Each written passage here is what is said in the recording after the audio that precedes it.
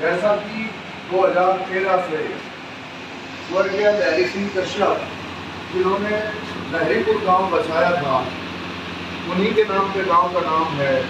ये एक समाज सुधारक और निस्वार्थ समाज सेवी रहे। जीवन पर्यंत इन्होंने अपने परिवार के साथ साथ समाज सेवा में जीवन गुजारा और अधिकतर देश के अभावग्रस्त लोगों के लिए काम किया और समाज के सभी वर्गों के साथ मिलकर के काम किया। पढ़ाई भी इनकी हाई स्कूल इंटर के आसपास थी बढ़िया पढ़ाई थी इन्होंने अपने सभी बच्चों को पढ़ाया और समाज में शिक्षा के लिए काम किया, प्रेरित किया बहुत लोगों को। इनके घर में लगभग बीस पी एच डी हैं और प्रोफेसर ऋषि कश्यप जी उन्हीं के सुपुत्र हैं बड़े और गाजीपुर में वरिष्ठ प्रोफेसर को करते हैं और यूनिवर्सिटी में भी इनके पास बड़ी बड़ी ज़िम्मेदारी है। और इनके अंदर में लगभग 200 बच्चे पीएचडी कर चुके हैं। और सभी रियल पीएचडी हैं, जबकि पीएचडी रियल नहीं होती वास्तव में मतलब कॉपी पेस्ट होती है। हम तो इनके सम्मान में मैं चाहूँगा कि आप सभी जो पीछे बैठे थोड़ा सा समर्थन करेंगे, प्रोफेसर साहब का कि। और मैं इनके साथ पिछले आठ साल से जुड़ा हुआ हूँ। और जब से मैंने देखा कि जो शिक्षित व्यक्ति काम करता है समाज में उसको बहुत संघर्षों का सामना करना पड़ता है। तो उस संघर्ष को मैंने इनके देखा, और फिर मैंने भी जो संघर्ष किया तो मुझे लगा कि इस व्यक्ति का मुझे साथ देना चाहिए, और इन्हें लगा कि इस व्यक्ति का साथ देना चाहिए। और तब से हमने देखा कि जो स्वर्गीय लहरी के विचार हैं, वो हम दोनों के विचार हैं।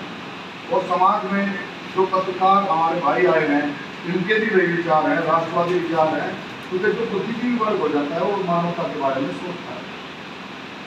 तो उसके बाद कार्यक्रम बढ़ते गए और वर्ष भर जो कार्यक्रम होते हैं विचारधारा के फैलाव के प्रैक्टिकल ये गाजीपुर में प्रोफेसर है और देश भर में इनके कार्यक्रम लगे रहते हैं। और लगभग सभी वर्गों के जो संगठन बने हुए हैं, उनसे जुड़े हुए हैं। सब बुलाते हैं वाम क्षेत्र वाले भी बुलाते हैं आर एस एस वाले भी बुलाते हैं, सभी संगठन इनको बुलाते हैं। और ये अपने विचार पर भर प्रकट करते रहते हैं। और वैसा ही सौभाग्य मुझे भी प्राप्त होता है इनके करना तो आज इस बार जो कॉन्फ्रेंस है, पिछले साल भी आपको बताया गया था। इस बार की कॉन्फ्रेंस का मेन थीम है कंप्लीट कोऑर्डिनेशन ये कोऑर्डिनेशन इसलिए एक बार मैं समझा दूँगा तो आपको क्वेश्चन पूछने में आसानी रहेगी। कंप्लीट कोऑर्डिनेशन इनके बीच में होना चाहिए? एक तो जो जनता शासित हो रही है उसके बीच में कोऑर्डिनेशन का अभाव है, इसलिए लीडरशिप हमारा शोषण करती है। दूसरे लीडर जो हमारे हैं, देश के भी और दुनिया के भी। सभी लीडरों में कोऑर्डिनेशन नहीं है, कोई बात ये है। देश जो दुनिया में ढाई सौ, तीन सौ देश हैं, उनमें भी कुछ बने हुए हैं। और हमारे राष्ट्र के अंदर भी विभिन्न पार्टियों में भी कुछ बने हुए हैं। तो इन गुटों के कारण देश में भी विभाजन है। धर्मों में मानवता बढ़ती हुई है? जातियों में मानवता बैठी हुई है, वर्गों में मानवता बैठी हुई है।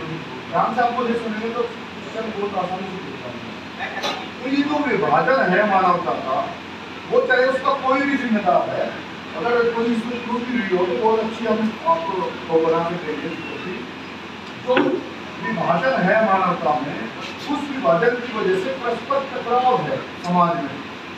और उस टकराव पूरी की पूरी मानव हित में नहीं जा रही। क्योंकि जो प्रकृति है, उसमें पाँच तत्व से प्रकृति बनी है। वो पाँचों तत्व प्रदूषित हो चुके हैं। हम बीमारियों से ग्रस्त हैं और जीव जंतु हमारे खत्म हो चुके हैं।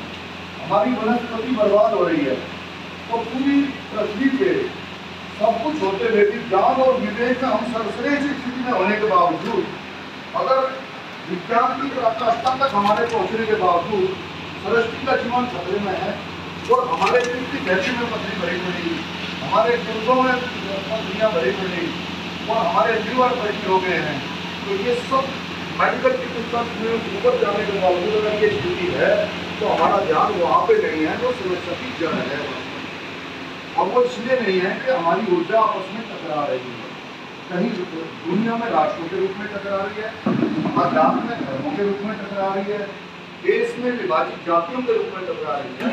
तो उस टकराव को पूरी तरह समाप्त करने के लिए हमारा आपस में कोऑर्डिनेट होना ज़रूरी है। नेताओं का भी, राष्ट्रों का भी, और जो सत्ता के स्तंभ हैं चारों जैसे न्यायपालिका हो गई, हमारी कार्यपालिका हो गई, हमारी प्रेस हो गई मीडिया जो कमज़ोर करने की जिसको कोशिश होती रहती है, जो कभी कमज़ोर पड़ती भी नहीं मीडिया हो गई, न्यायपालिका और व्यवस्थापिका और आम जनता पांचवा स्तंभ है जो असली स्तंभ है जिसके लिए सारा काम होता है। तो हम सब में आपसी कोऑर्डिनेशन होना बहुत ज़रूरी है। और मार्गों में सत्ता संस्थानों में देशों में नेताओं में इन सब में कोऑर्डिनेशन कब होगा जब हमारा वैचारिक कोऑर्डिनेशन बन जाएगा। और वैचारिक कोऑर्डिनेशन कब बनेगा जब हमारी से सोच कोऑर्डिनेशन के बारे में होगी। आपने बहुत सी कॉन्फ्रेंस की होंगी कहीं भी आपने इस विषय पे उतनी चर्चा नहीं सुनी होगी जितना मैं ज़ोर दे रहा हूँ। कोऑर्डिनेशन विचार में भी ज़रूरी है, सोच में भी ज़रूरी है, समझ में भी ज़रूरी है।